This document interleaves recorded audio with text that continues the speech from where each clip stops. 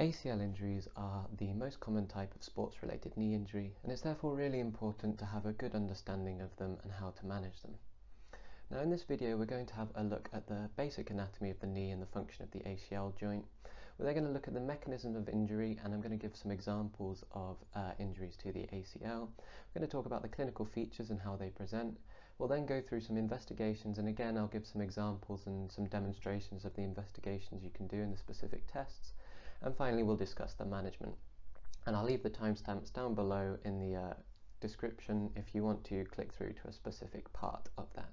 So without further ado, let's move on to the anatomy with this handy diagram here. So we're looking at the right knee, and you can tell this because the fibula is always lateral and it has the lateral collateral ligament attaching to it. So the anterior cruciate ligament is the one right through the middle indicated by the diagram now which um, is called the cruciate ligament because it's shaped like a cross. Latin for cross is cruciate. Now this is the strongest ligament in the joint and it attaches to the intercondylar region of the tibia and prevents the uh, anterior dislocation of the tibia over the femur. So if this is the tibia and this is the femur, it prevents it from going forwards because it holds it in place just there. So it stops the forward motion. And that's basically all you need to know unless you want to go into greater amounts of detail and become a surgeon of the knee. So now that we've discussed the anatomy, it's time to talk about the most important part for doctors, which is the mechanism of injury, how it happens, and how you can detect whether they've done this before you need to do any investigations. Um, so there's three main ways in which the anterior cruciate ligament can become injured, and that all depends upon the anatomy. So if this is my tibia and this is my femur, and they're joined like this. The first way is twisting of the knee joint, rapid twisting on a flexed knee. So the knee has to be slightly flexed because it puts increased strain on the anterior cruciate ligament, which is coming between the two.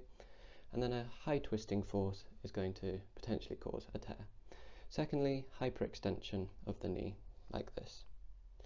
And thirdly is if you have a rapid and hard force to the back of the tibia. So therefore, the anterior cruciate ligament is going to become stressed and potentially snap because the tibia is going to go forwards and that's the entire action that the anterior cruciate ligament is stopping and trying to prevent. So now that we know a couple of the mechanisms of injury, I'm going to go and look at some examples and then we can discuss how they might have happened. So this first example with Brazilian forward Ronaldo is probably as much of a clear-cut example as you could possibly hope for of an ACL tear. It's the hard force onto the partially flexed back of the tibia.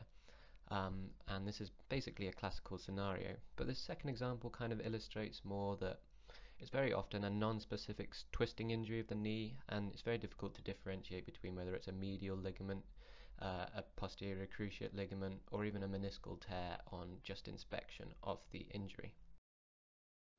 So what risk factors are there for an anterior cruciate ligament injury? Well, there's two very obvious ones. Acute trauma, so we said about twisting or a heavy force to the back of the tibia. And also, of course, a previous history of anterior cruciate ligament tears that's going to weaken the ligament.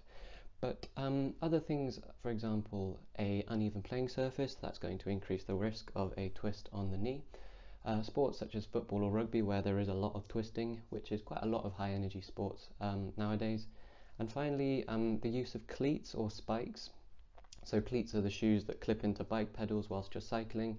Spikes are the shoes with spikes on that athletes use when they're running.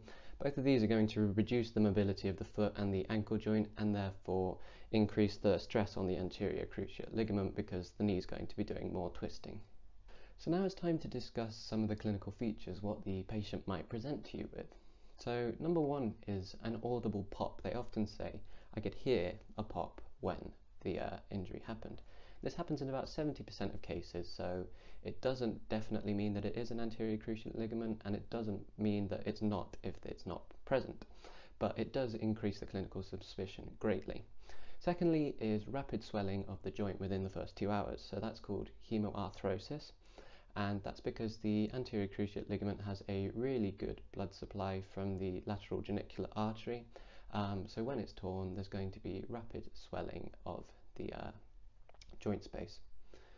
thirdly, you're going to get knee pain. This is a very, very variable thing. Some people have little knee pain, some people report large amounts of knee pain, so it's very difficult to um, understand whether it's a ligament injury or not based solely on the amount of pain that they're having.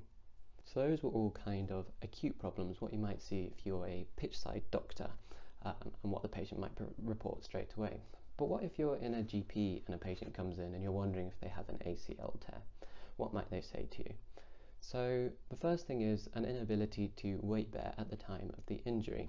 So they might say that they just were hobbling about, not able to walk on the foot. And, simil- on, and similarly, the um, inability to return to sports in any normal degree of time. It might take them a long, long time to get back to the sports because of pain.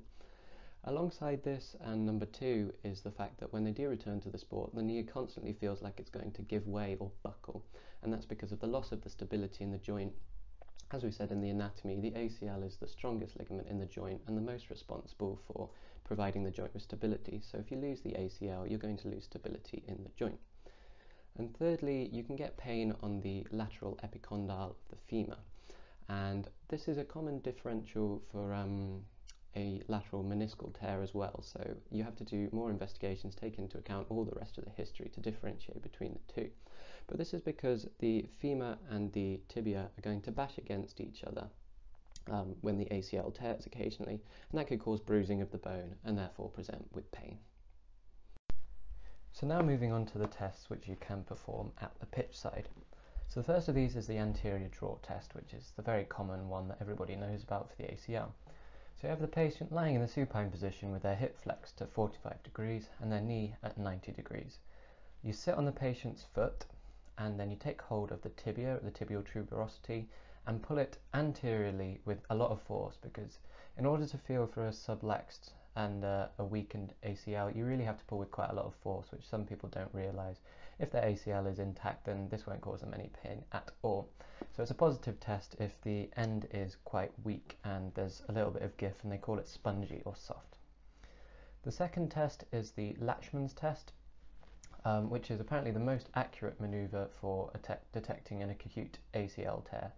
So again, you lay the patient supine, but this time you bend the knee to 20 to 30 degrees.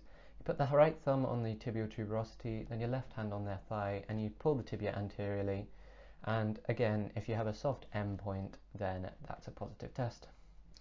This final test is the pivot shift maneuver. So again, patient lying down, you lift the leg up to 20 degrees of flexion, and then you uh, place your hand on the calcaneus to encourage internal rotation of the tibia and encourage full extension and flexion of the knee. And if there's a clunk at 30 degrees, then that is a positive test for the ACL rupture. And this uh, pivot shift maneuver is much more useful in a GP when you're looking at more of a chronic picture. So now that we've discussed the pitch side test that you can do to increase or decrease your clinical suspicion of an ACL tear, it's time to discuss what they might do for you in hospital. So the first thing they'll do is apply the Ottawa knee rules to see whether or not you need an x-ray of your knee. So this is four rules. So age over 55, they might do. Uh, if they're unable to weight bear on the knee, they probably will be unable to weight bear with an ACL. Isolated pain over the patella or the fibula, They'll probably have isolated pain over the fibula, potentially, they could not as well. And finally, active flexion of less than 90 degrees. Um, that shouldn't be affected. So there's potential that they might do an x-ray. So on the x-ray, they're basically ruling out any fractures of the uh, knee and the, the surrounding bones, and there shouldn't be any fractures associated with an ACL, but you may be able to see the effusion, or the hemiarthrosis as we called it earlier. The gold standard for an ACL is an MRI. So you can see the tearing of the ligament with um, an increased frequency, um, and you might be able to see a change in shape. And you can also rule out other things that might be clinically suspected, such as a, uh, a collateral ligament tear or the medial meniscus tear. So now I'd just like to touch on the management for an ACL. And this is more focusing around the GP or the hospital setting after you've already got your diagnosis from investigations into an ACL. And with all things, there's three stages to this. There's your conservative, your medical, and your surgical management. So these are kind of risk stratified based on the type of patient in front of you. So conservative management tends to be withheld for sedentary patients, so your older population that have not done the ACL doing sports. Uh, so this would be protected weight bearing, you'd do RICE, so rest, ice, compression, elevation, and you'd give them some pain relief and perhaps some cautious physiotherapy. Uh, if you've got your more moderate, moderate intensity patients, then you're going to have some formal physiotherapy, quite intensive, to try and regain some strength and stability in the knee joint. And finally, if you've got a more intense dynamic demand on the knee, so perhaps a, very active young person or a, a high end sports athlete, they're going to require surgical reconstruction because the ACL uh, never truly heals. So without surgical intervention, you can't ever compete at the highest level um, because the joint will not be fully uh, supported. So the most common surgery at the moment is a hamstring tendon graft, uh, but you can also have a bone patella tendon bone autograft, or you can sometimes there's um, evidence for a cadaveric autograft, and then you really need to have some intense physiotherapy following this. So that basically sums up the ACL, and make sure you leave any comments down below if you have any questions. Um, but thanks very much for watching, and make sure you subscribe if there's any if you want to see any more videos like this in the future.